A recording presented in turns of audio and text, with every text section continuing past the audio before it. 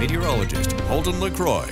Been a busy 48 hours and we're not done just yet. As you take a live look towards downtown Eugene, again, looks like snow on the rooftops. That is sleet, kind of with a glaze of ice. We were kind of expecting this yesterday. We had some light freezing rain move overnight last night and it acted like a glaze across cars, trees, roadways out there, and that has been causing worse issues today than we had yesterday. And that goes to show that sleet is not a bad thing. It's the freezing rain is the issue. And luckily, we just had the freezing rain last night not all day yesterday because matters could have been a lot worse across the region. Nevertheless, as we take a live look towards downtown, 26 degrees. We are not going to get above freezing until Tuesday night. And we actually have another storm that's going to be approaching by that time frame as well. You folks down in Roseburg, it has been balmy, 45 degrees. We even had landslide issues. You guys saw about four inches of rain up into the Umpqua yesterday. That led to landslides on 238. Luckily, that has cleared now, but if you're south, say, of Cottage Grove, please be mindful of landslides and the potential flooded roadways over the next couple of days as we kind of get this moisture moving out toward the Ocean.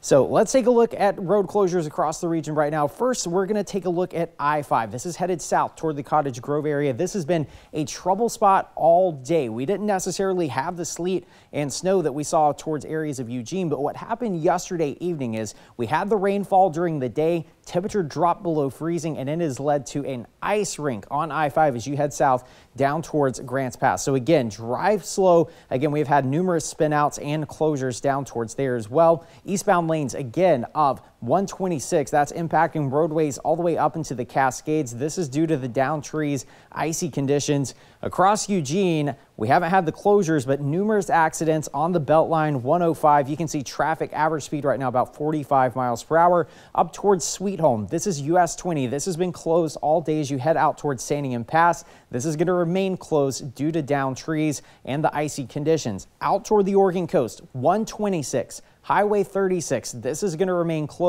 Icy conditions. I have some pictures on my Facebook. You can see the horrible conditions of down trees out towards the Oregon coast. And the reason why Arctic air mass back off to the east, warmer temperatures to the south. Again, we are still going to be seeing the concern of flooding conditions down toward Douglas County, icy conditions Eugene north all the way through Tuesday. And yes, here is our next storm system. This is going to approach as we head towards Tuesday. It's not going to be as bad, but we are going to have a round of heavy freezing rain Tuesday evening as this storm system moves in, and the culprit is the cold air in place. So timing things out, draw your attention. Tuesday evening, that is going to be the concern day. You do not want to be driving at 5 p.m. on Tuesday. Heavy freezing rain from Eugene all the way up to Portland. Milder rains are on the way as we head into the weekend, luckily, but you can see fog across the region develops again, and temperatures are going to be around 21 degrees. So that means freezing fog once again overnight tonight. Another glaze on roadways. We see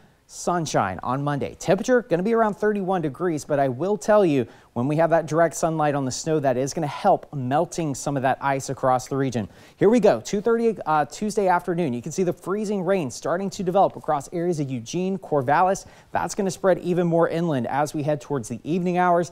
I-5, ice is expected as we head toward Tuesday and eventually Milder rains are on the way as we head toward Wednesday, as you can see there. Seven day forecast for the coast. I want to talk about rain and wind. Tuesday, Wednesday, gusts near 45 miles per hour. The Umpqua Basin, 46 degrees Monday afternoon again. Cold rain on Tuesday, 48 degrees, breezy conditions as we head towards Wednesday. For the Cascade Passes, this is actually a little bit troublesome. We've been talking about the snow needed up there.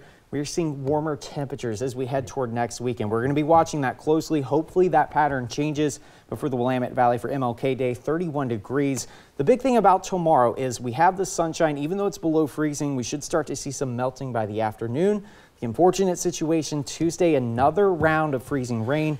Eugene all the way up to Portland. Mm -hmm. And then Wednesday, we should Wednesday, okay. we should be able to melt all of this away. Temperatures get up to near 50 degrees. And once we head into the weekend, it's going to be a distant memory. All right, sure hope so. Holden, thank you. Of course. All right, coming up, here why